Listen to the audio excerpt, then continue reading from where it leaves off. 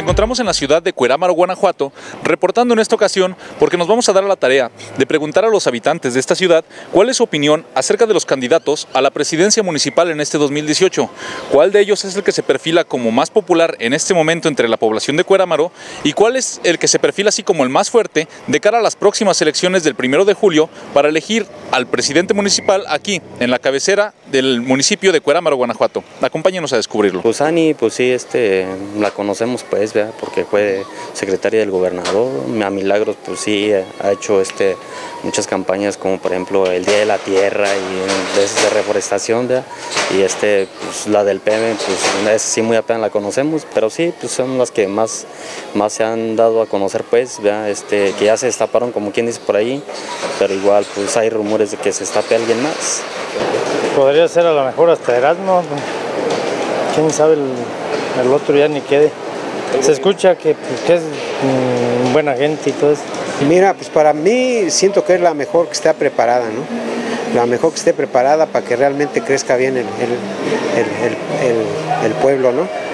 Y para mí el, PAN es el, mero, el mejor con Ana Rosa, bueno, así es. Mira, está joven, pero tiene, pues ya, ya tiene al, al, pues, experiencia en, en, en, lo que tiene y tiene sus estudios. Yo creo que está preparada esta, esta niña. Pues del verde, Sandra Luz. Y el maestra tiene su profesión por la educación que tiene, por los estudios. Para mí el naranja, porque fue el que hizo más últimamente, cuando él le tocó la otra vez estar en el hospital. La agua de las aguas residuales, en cualquier comunidad hizo algo. Yo soy panista, pero para mí se me hace bien. ¿Por qué sí? O sea, ya vamos a calar una mujer que nos gobierne. O las dos. Sí. Las dos, la verdad, están bien estudiadas. Están bien estudiadas. Bueno, lo que sean muy buenas personas. Echarnos mucho la mano en lo que es, fue de, en del hospital y todo.